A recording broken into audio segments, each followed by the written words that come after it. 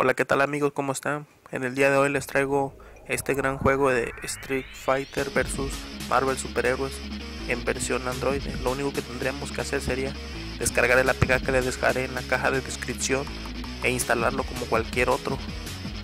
No requiere un procesador muy muy este fuerte o, o gama alta para correrlo, simplemente con un Android de 512 megabytes de RAM puede correrlo.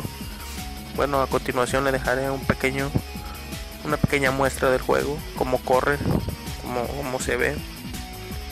Y nada, solo quería dejarlos con un poco de este de esta pequeña partida y decirles que yo soy Adrian Rose. No se olviden dar like o suscribir si este video les sirvió o les gustó. Y nos vemos en el próximo video. Adiós.